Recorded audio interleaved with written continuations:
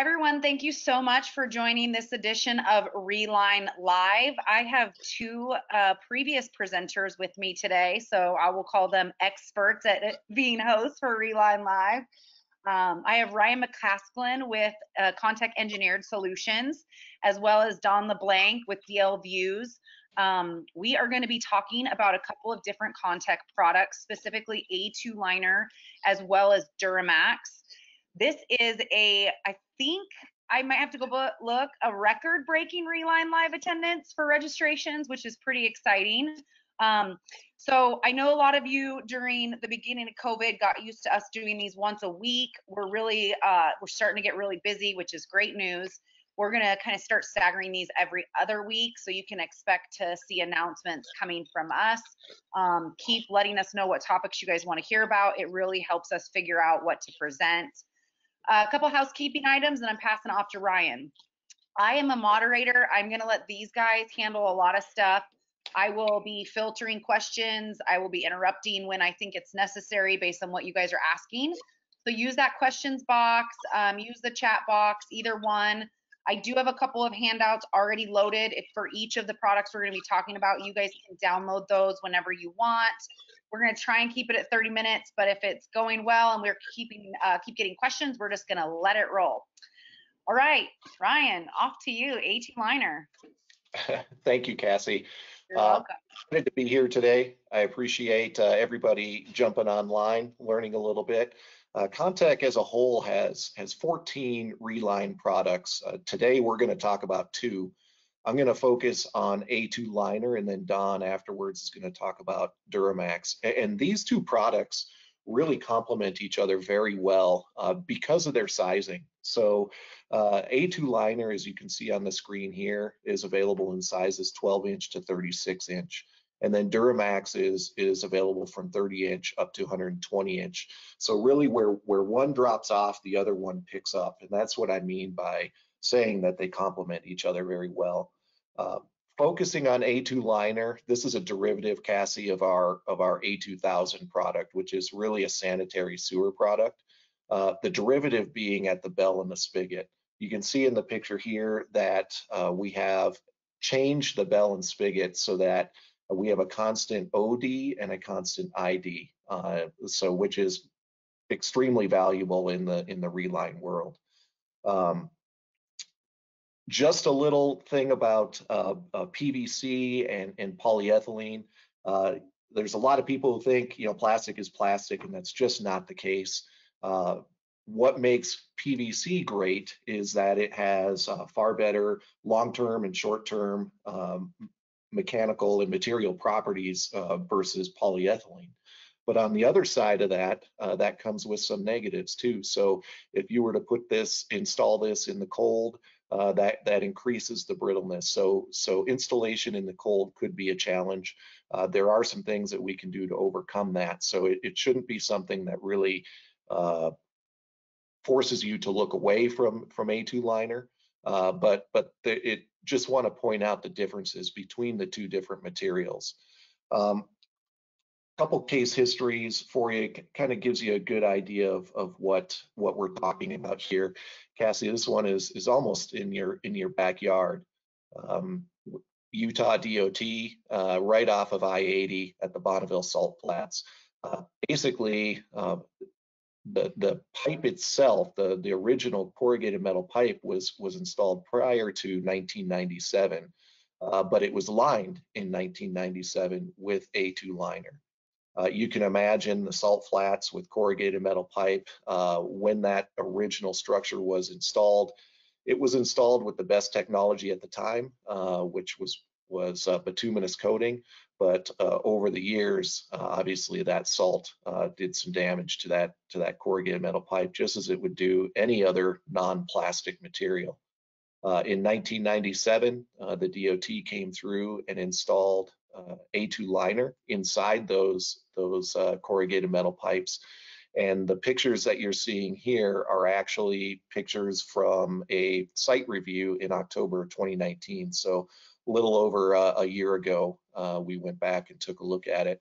And you can take a look at the picture in the lower left-hand corner and see that while there are salt deposits on that structure, the structure itself is, is just fine. Uh, so almost one of the worst imaginable uh, situations that you could be in and, and A2 liner is performing extremely well. Just like DuroMaxx, A2 liner is, is made for um, high, highway live loads. Uh, so we have minimum and maximum heights of cover uh, that, that need to be followed. Uh, just like DuroMaxx, uh, A2 liner can be direct buried too. So if, if you're trying to line a portion of your pipe and then extend it, you can just extend with the existing, uh, with the liner pipe as well. Does that make sense?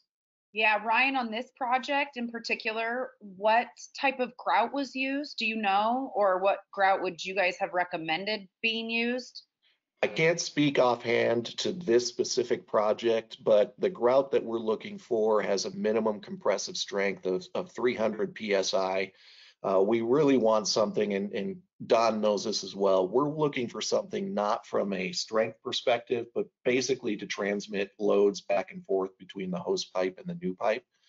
Uh, so it doesn't need to be very strong. Uh, I always like to say a milkshake consistency or an aerated grout uh, works extremely well uh, for this and for DuroMaxx. Did that answer your question? Yeah, yeah, that's great. I was just curious. Yeah, no, it's a great question, and and really, uh, we get the grout questions more so than the actual pipe questions uh, most of the time. So uh, one last uh, case history, and I really like this case history because it shows the shorter pipe lengths. a lot of times the only access you have is through a structure like shown in this project here or, or through a manhole, and you just don't have the ability or, or access to an inlet or outlet. Uh, so we can make shorter pipe lengths. Uh, in this case, we, we made them four feet long, but we can make them 30 inches long.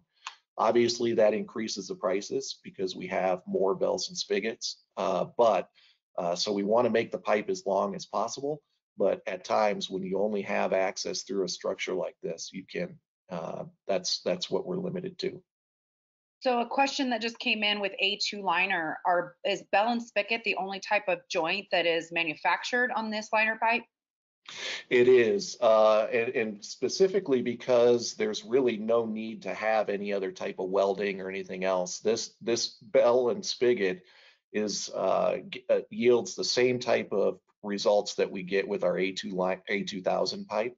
So it's a sanitary sewer grade pipe uh, in in bell and spigot. So uh, the only thing that we've done is we've changed the bell itself, so we have a constant OD uh, across the entire length of pipe.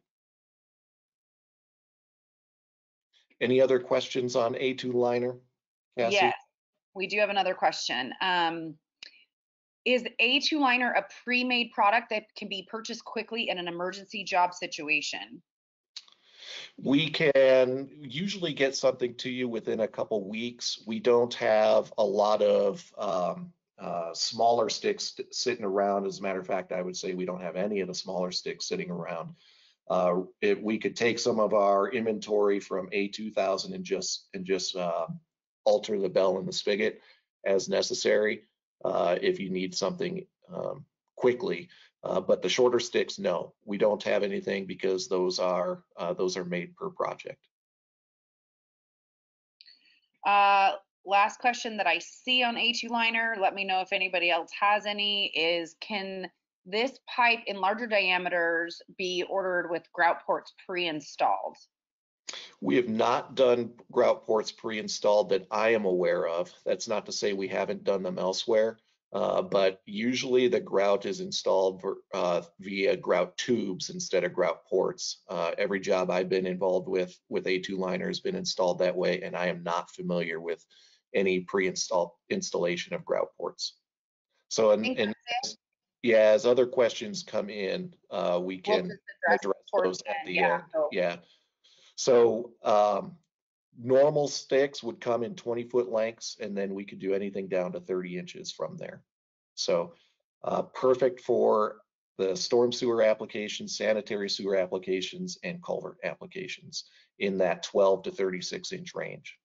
Rian, would you say there's a particular type of project that A2 liner wouldn't work for? I know you and I talked about it a little bit yesterday, but just to address it to the group, um, in your perspective, like a specific kind of project, you can give us example where A2 liner just wouldn't work and we would say, hey, there's other liner products that would work in that situation. Well, it works really great in manhole to manhole or culverts um, where the deflections aren't aren't uh, beyond you know the the five to to ten percent. Anything beyond that, where you're going to have to ram a pipe through, I would say that probably A2 liner wouldn't be the the best option for that. Um, uh, you know, so, so Usually in sanitary sewer, we don't run into that. Storm sewer, we don't run into that. Sometimes in culverts, though, we will run into that. Uh, so, you know, having a good assessment of, of what's existing uh, is always the first step to a good reline project, regardless of what product that you use. Uh, you don't want to be digging, uh, you know, kind of rubbing your head when you've when you've got pipe already on the ground and trying to figure something else out uh, once it's too late. So Yeah. Uh, Great. I am going to pass the controls over to Don. Let me Uh, introduce, let me introduce this real quick, if you would, and, and then, yeah, and then Don has some case histories that he's, he's had, which are very interesting. Um, the perfect complement to A2 liner when you move up is in diameter is, is DuroMaxx. And the one thing you want to remember with DuroMaxx is that the steel carries the load. If you remember anything from this presentation, that should be it. Uh, it the polyethylene carries the steel, so it provides a waterway wall and it provides the durability. But in reality, from a structural perspective, uh, the steel carries a load. And, and why that makes a big difference is because we're able to use the consistent structural characteristics of steel uh, versus that of the dynamic structural characteristics of plastic, PVC or polyethylene or any other type. Uh, so that allows us to use larger diameters, in this case up to 120 inch. Uh, it also allows a, a very relatively thin wall, which is ideal for reline applications. So Don, I think you've got a couple case histories. Thank you very much, Rian. Thanks, Cassie. Um, so, We have another A2 liner question that just came in. Do you want to maybe do that right now while Don's kicking off his? Sure. Okay. Well, A2, we sort of addressed it, similar to sort of what I brought up. Will A2 liner handle angular deflection? If so, how much? It, yeah, it can handle it. It just depends on what length of pieces that we have. So Yeah. we're going to use uh, shorter pieces if we have any type of deflection along those lines to help us get through that. So, uh, but how much is going to depend upon the hydraulic requirements that we need. So if you've got a 42 inch pipe existing, uh, we got six inches we can play with a void. Uh, if that's not enough, we may have to use a smaller diameter. So it, it's hard to say uh, top hand exactly um, what the limiting deflection is going to be. It, it all depends. So that's why I would say get us involved early and we can walk walk you through the stage for that specific project. you know what, Cass? Well, I'm gonna I'm gonna talk about this. I'm actually gonna email this to you. It's all right. Well, so while I take care of that, I will talk about DuroMaxx a little further.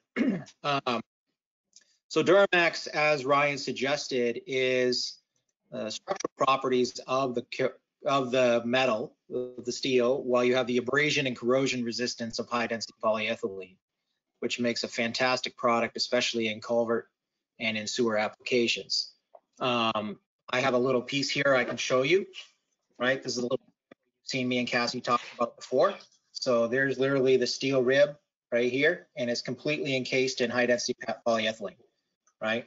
So this would be your soil side or your grout side in a reline, and this would be your waterway side, which makes for a very smooth 0.012 Manning's coefficient.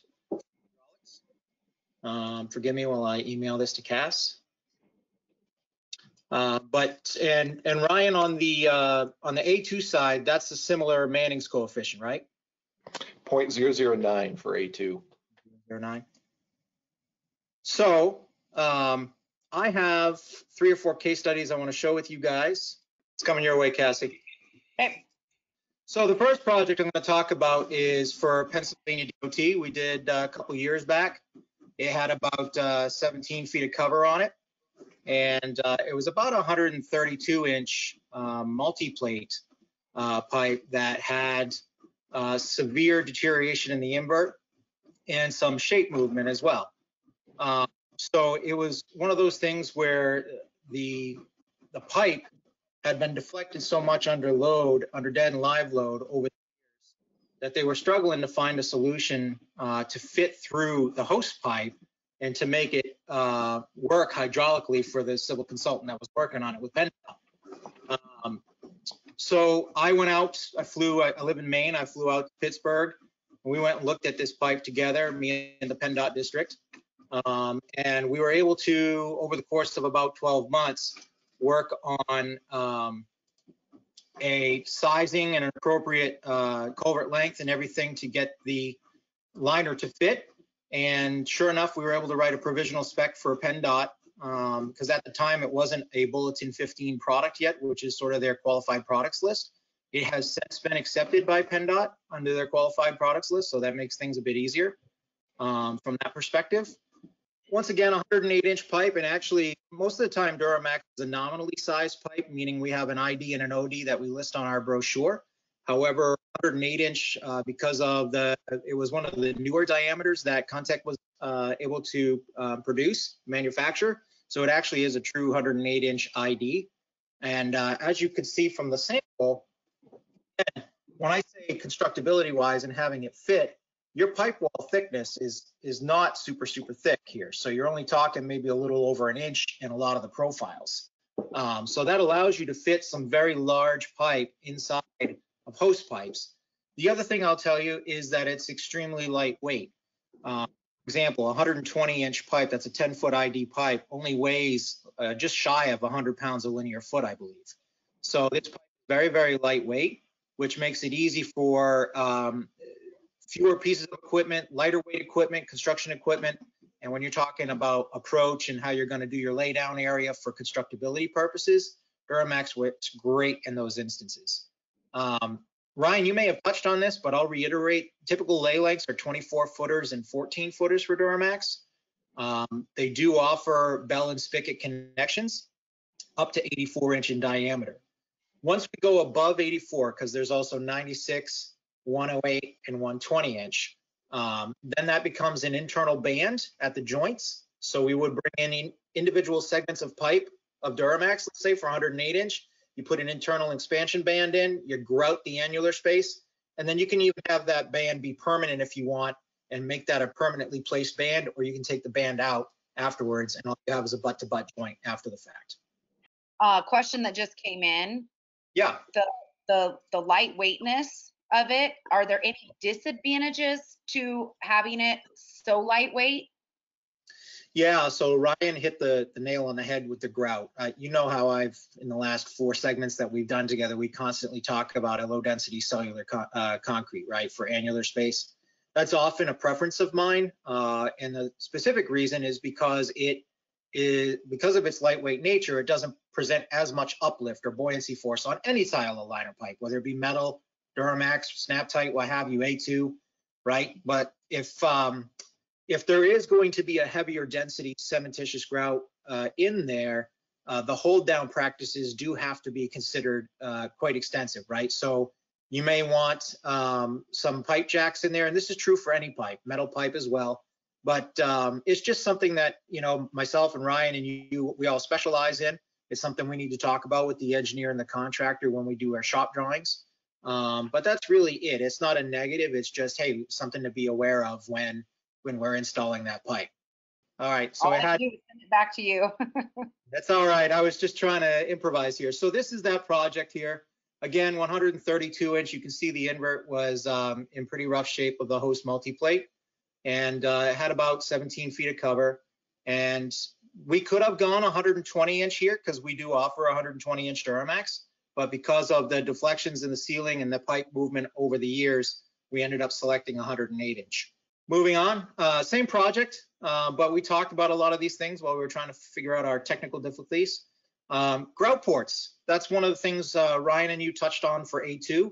This is something that I often do uh, for DuroMaxx is we'll put in grout ports and grout port patterns can change uh, depending on who the installer is and what their preferences are and what type of grout they're going to be using. Um, but I, I always say the more grout ports, the merrier, because if anything else, it just gives you more opportunity to open up a grout port and see how the grout's flowing in the annular space. Um, once again, very lightweight and strong pipe, can be direct buried just like the A2 can under deep cover. Uh, this was probably one of my very first experiences with DuroMaxx uh, for the town of Ithaca, New York, just outside of the campus there, uh, where we had an 84 inch old boilerplate culvert uh, in the ground. Rian, I'm sure you've seen plenty of these. There's a lot of these Oh, in yeah. New York. and uh, that particular boilerplate actually had a box culvert extension off of it. What made that even more challenging was there was about a four or five degree bend after you got to the separate material there going through that culvert. And you could see this is the excessive uh, rock head wall, and they had some slope failure in here uh, from sinkholes and things of that nature. So uh, we ended up, uh, contract friendly contractor of ours ended up pulling about uh, 110 feet of 72 inch uh, DuroMaxx through here, um, and just had a basically a winch system where he was able to pull it on a uh, a winch on the butt end of the culvert, and he had a pull plate here, so a steel pull plate that basically matched the outside diameter of the DuroMaxx pipe, uh, and he was able to get that to pull through, no problem through the bend, uh, and the job went very well. The town of Ithaca has um, has done very well with that culvert. They haven't had any more sinkholes ab- above grade, so we, we know the pipe and the and the grout are holding up very well. Here's some more pictures. You can see actually how you can see the winch cable here and how because of that angle it was off to the side. Here's his winch set up off the head wall here. And there's actually some two by fours he Hilti nailed into the sidewall of the culvert to actually guide the DuroMaxx around the four degree bend. So that was helpful. You can see how tight some of this was in here. So again, with the wall thickness being what it is, it made it a lot easier to fit that in hydraulically and get the town what they needed to meet their flow requirements. This one was a, a pretty large project, probably one of the uh, namesake projects we're very proud of up here in the Northeast with DuroMaxx. Um, there was a ton of issues for MassDOT, and they actually, the Massachusetts DOT actually issued an emergency work order via official letter. Um, and we were able to get in and uh, fix basically a 78 inch um, culvert that went underneath both north and southbound of Interstate 91, as well as uh, the railroad.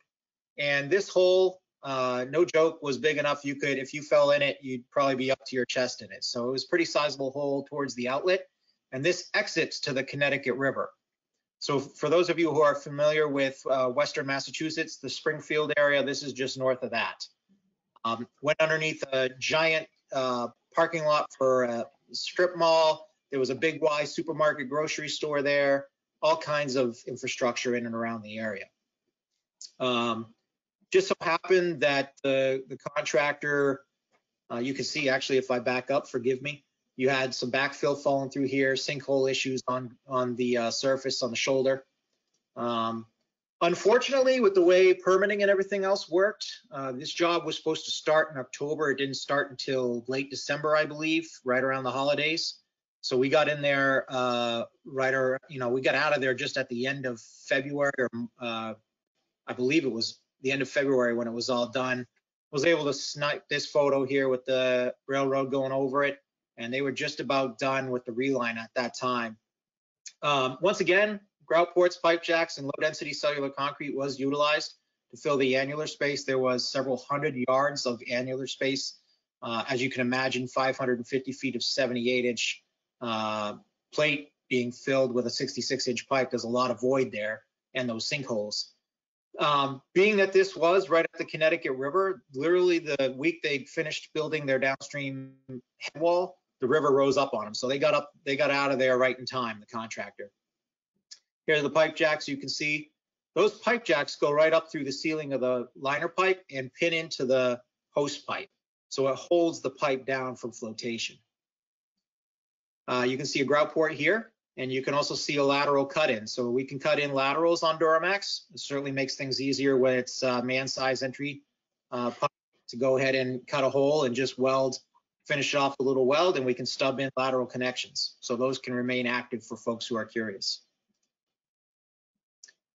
Don, we have a really, uh, we have a really good question that just came in. Can you Yep. couple DuroMaxx to steel pipe in a siphon situation to address stream angles in a siphon? Hmm. I would imagine there's a way to do it. Rian, do you have a good answer for that? We, we've actually done it, um, Hmm. not necessarily in a reline application, but we have Right. done it in, with new pipe.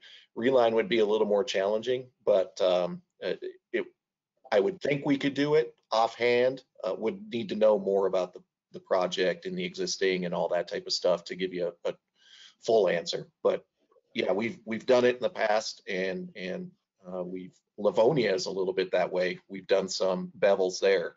Uh, Yeah. Another, another show picture that Don, uh, Don's gonna give you. So Yeah. it depends on the severity of the angle. Well, Rian, I know the gentleman asking the question. I work with him on other projects. Um, he knows Contech products, so I'll, we'll get on a call with him and talk to him about it. Okay. Um, uh, another question came in. Can you tell us more about the clamps inside, outside, and the sizes of use? So by clamps, I'm assuming they're meaning the bands. Um, and so I'll take it to mean that. Uh, so the Yeah. band, so going back a step, if it's 30 through 84 inch diameter, then there's a bell and spigot connection. Pretty traditional bell and spigot, double fluted gasket, what have you. They go together very well, meets the ASTM D3212, um, which can be used for storm or sewer, right? And we use it sometimes in reline, but not, not as often as one might think. There's a slight adjustment in the OD versus the wall of the pipe itself, unlike the A2 where the bell or SnapTite, for example, where the bell and the um, the spigot are the same diameter roughly. Um, so that is, should be considered when you're looking at a host pipe and figuring out whether or not it's going to fit. Can you actually have a bell DuroMaxx uh, connection on there, or will it prevent prevent you from doing it because of a pinch point? Um, oftentimes I'll use just plain end DuroMaxx. So once again, just butt it up against each other and then you go in with an inside band. And those can just be temporary internal expansion bands, which we often, Rian and I will use steel. And those bands just go in, they hug up against the ID of that joint. Only when the grout's going in place, the grout cures, you collapse the band, you take it out. That's one option. Or you can do a permanent band where you go in with some flat gasket material like a quarter inch or what have you, HDPE, and you can weld that permanently in place. You can screw it down with a, uh, a neoprene gasket if you want. There's all kinds of ways to skin that cat. But Mhm. uh, I find that, you know, if you, you have a nice butt to butt connection, the flow is really nice and smooth.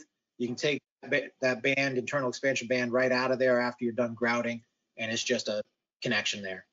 Once again, if the host pipe allows for it, Cassie, and it won't be a pinch point concern for you when you're slipping that pipe through there, bell and spigot would probably be the most easiest thing to do because you're, you know, you're eliminating all that post work of having to do bands inside the pipe. So if the bell, if the bell will fit inside a hose for 30 through 84 inch, that's, that's definitely a good solution. Any more questions on that or? So far, uh, um, just got another one. You showed pipe jacks to reduce flotation in the annular void when grouting. What is the bottom load spreading technique used to eliminate puncture and or undulation between the jacks? So what will happen most often than not is, and, and the commonality is about eight to 10 foot in uh, linear foot of spread between the grout ports and the ceiling and jacks. So there's about 10 feet there, right? Um, plus or minus. And then we'll put a four by four or six by six. Oftentimes we'll suggest to the contractor so your pipe jacks actually come down and on the bottom inside the liner pipe on the invert is a four by four or six by six piece of lumber where the pipe jacks come into contact. So it, I actually like it because it does a good job of holding that entire length down versus just a point load somewhere. You had a good picture of that, I think, on your last slide. Yeah, let me back up. You show that one where you have the jacks in there. Yeah. There you go. So there's your four by four and there's your contact. The, this is a bypass pipe where they're just pumping water through. So essentially you have a, a continuous beam running along the mm-hmm. bottom. And then, Exactly. but, but a new one up, you know, four by four, six by six, up to each other, you know, you can just space those apart by about a foot maximum. Okay, that answers my question so far. All right, great. No, these are great questions. I appreciate it. Um, so Livonia, this one's a little bit different and Rian and I wanted to showcase this one. I actually was not directly involved. Suffice it to say that I know the installer who put this in quite well. Uh, he's a colleague of ours. And this pipe was, um, an RCP, a reinforced concrete host pipe that had several host conditions that were of concern. Joints were coming apart. There was some spalling in areas on the, uh, RCP and just some critical infrastructure in and around the uh, commerce center there. Uh, so you can see in the notes, Amazon distribution was just uh, was right up there, and we definitely want to keep Bezos happy.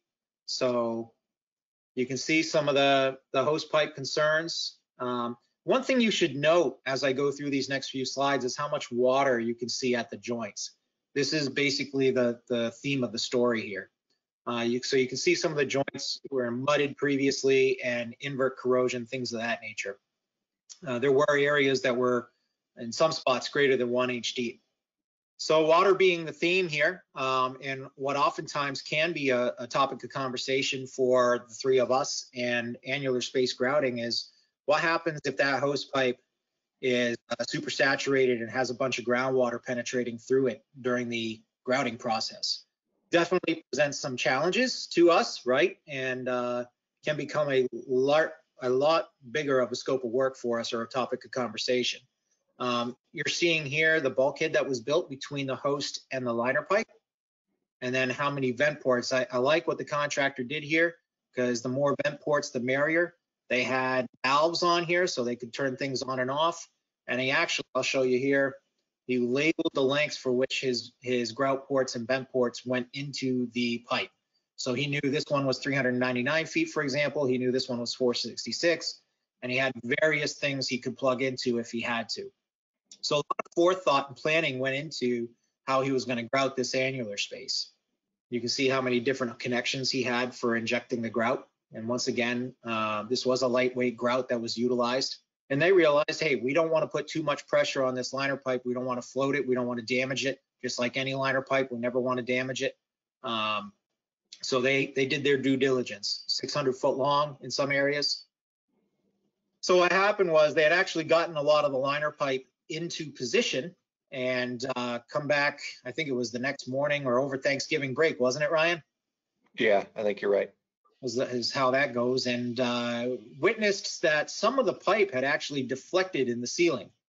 They very quickly were able to get, with Contech's help, they were able to get some strutting in there, where they were able to get that ceiling back into position. And uh, what they realized was they basically had a inundation of water uh, from the groundwater in the annular space. So they drilled some holes in the DuroMaxx and the invert, and basically bled the water out of that annular space. Um, and, and this is true for any culvert lining. If there's trapped water behind there and all of a sudden you had a 3D, three day rain event and groundwater is just coming through that host pipe, it can present a challenge no matter what the liner pipe is. So they were able to, forgive my shameless plug there, they were able to get in there and uh, bleed all the water, grout the annular space, get the project done, and it was a fantastic success at the end of the day. Not to be said without its challenges, but uh, contractor did a fantastic job of getting all that pipe into position. That buttons up my portion. Another question for you, Don.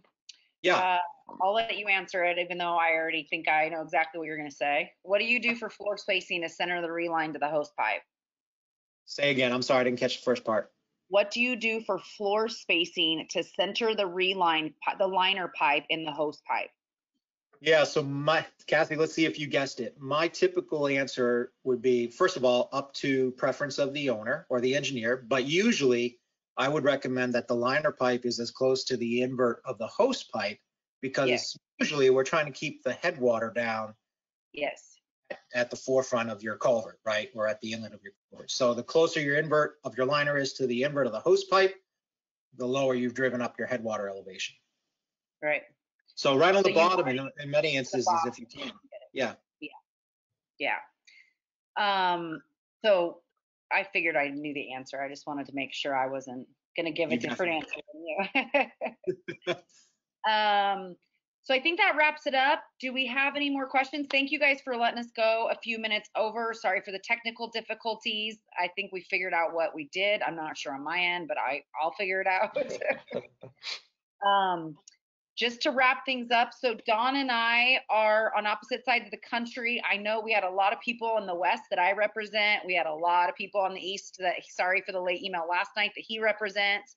Um, so we are independent reps for different manufacturers. Contech is one of the many products, uh, various products from Contech we represent.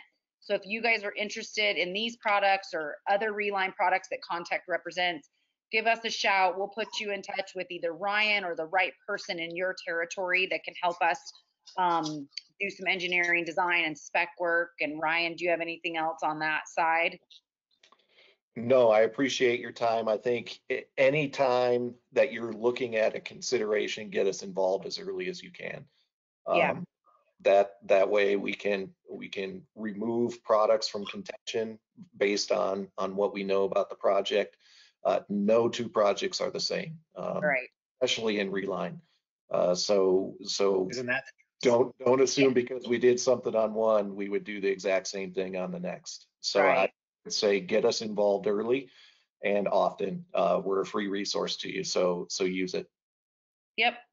Um, and Don and I are here as well. Like I said, we work really closely with Rian and other counterparts in Contech around the country. So feel free to always give us a holler and we'll put you in touch with the right people, get on calls and do engineering designs if we need to. Uh, if there are no more questions, if you guys uh, missed any part of this, um, this will be recorded and I should have it live by the end of the day on our YouTube channel. And there will be a link in the email you get tomorrow thanking you for attending. I have a couple more Reline Lives scheduled, so I'll be sending an invite out for those soon um, for February. So thank you guys so much. And this went really well, even though we had a couple of glitches. We didn't go that far over. a lot of good questions today. Thank you guys. Thank you very Thank much, you. Cassie. Thanks, Rian. See you guys.